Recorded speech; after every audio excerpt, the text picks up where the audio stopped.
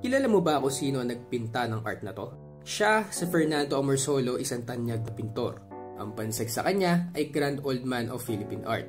Pinanganak siya noong May 20, 1892. At nang siya ay umabot sa edad na 13 anyos, siya ay nagsimula mag-aral at magbenta ng kanyang mga likha. Pinakatumatak sa isip ng tao kapag sinabing Fernando Amorsolo ay ang kanyang mga landscape arts katulad nito, nito at ito. At alam niyo ba na ang presyo ng art na to ay nagkakahalaga ng 882,251 US dollars or 49.6 million pesos sa pera natin. At hanggang ngayon ay ino-auction pa rin yung mga likha niya. Ganon natin ina-appreciate yung mga arts before. Pero dahil nga nag improve na ang teknolohiya, nagsimulang musbong ang digital arts. Tulad na lang ito. Ito ang Bored Ape Yacht Club, or also known as BAYC.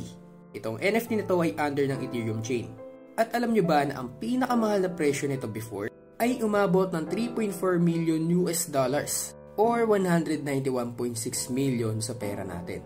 Isang taon nga lang ang kinailangan nito before niya ma-reach yung kanyang all-time high price. Pero ikaw kung papipiliin ka, traditional arts or digital arts?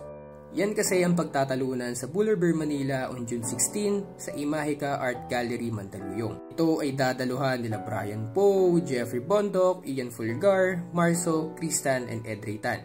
And good news guys kasi I have 2 tickets na pwede pamigay sa aking viewers and community. Ang kailangan lang gawin is i-follow si Boulevard Manila sa Twitter tapos i-retweet itong post sila and tag 3 friends. Yun lang guys, see you there.